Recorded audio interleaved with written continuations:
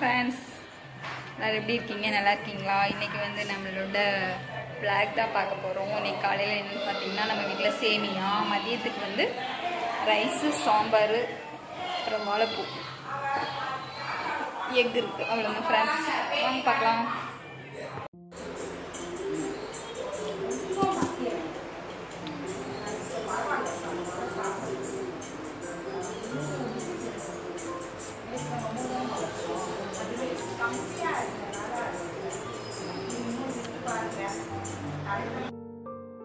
வாழைப்பூ வந்து செய்கிறதுக்கு ஃபஸ்ட்டு இதில் உள்ள மேலே இருக்கிற தோலெல்லாம் வந்து எடுத்துக்கலாம்.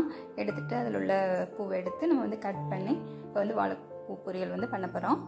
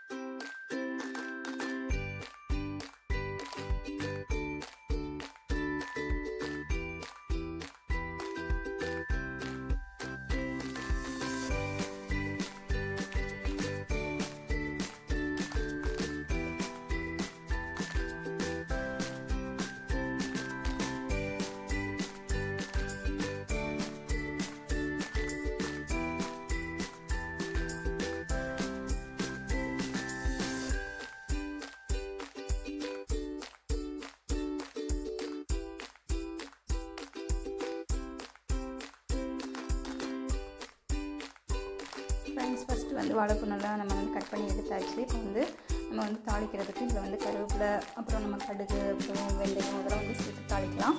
நாங்கள் வந்து இப்போ வந்து கருவேப்பிலை மட்டும் இதில் வந்து ஆட் பண்ணலை. பேஷண்ட்டுக்கு கொடுக்குறனால இதை வந்து நம்ம வந்து கருவேப்பிலை சேர்க்காம இருக்கோம். ஹார்ட் பேஷண்ட்டுக்கெலாம் லீஃப் அந்த க்ரீன் லீஃப்லாம் சேர்க்க மாட்டாங்க. அதனால வந்து இதில் வந்து ஆட் பண்ணலை.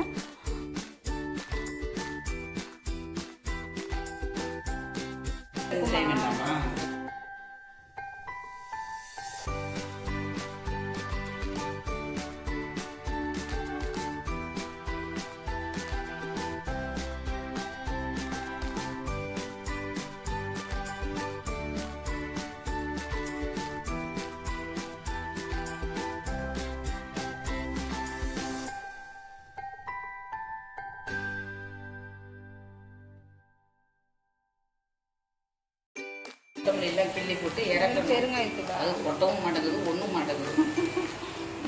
இரண்டு பிஞ்சு இதுக்கு அவ்வளோ இதுவே அதிகம். இது நாலு நாள் ஆகும் இந்த அடுப்பில்.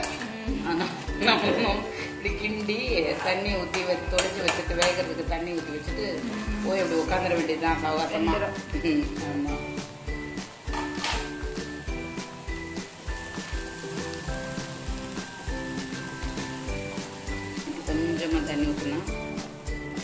மூணு நாளைக்கு இந்த அடுப்பில் வேகும்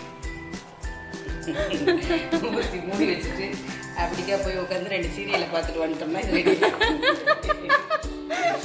ரெடி ஆகிடும் சரியா?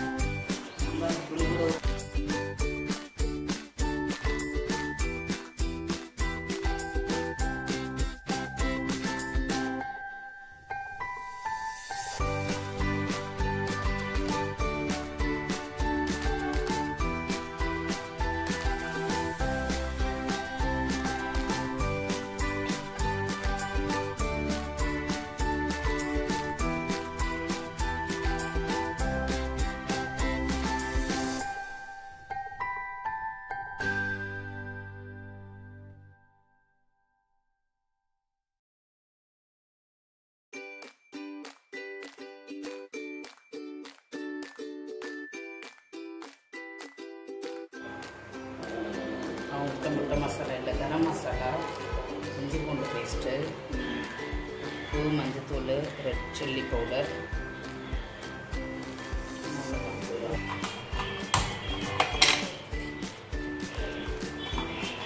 உப்பு இப்படி வச்சுட்டு அதுக்கு எடுத்து வச்சுட்டாங்க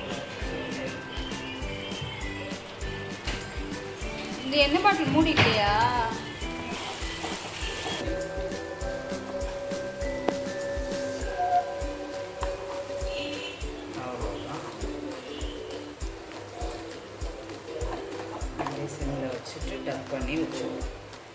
டக் பண்ணினா க்ளோஸ் இப்போ வந்து இந்த முட்டை மசாலாவுக்கு இந்த அடுப்பு தான். ஃப்ரெண்ட்ஸ் இது எல்லாமே ரெடி ஆகிடுச்சு சாதம் ரெடியாக இருக்குது. அப்புறம் வந்து பார்த்திங்கன்னா சாம்பார்.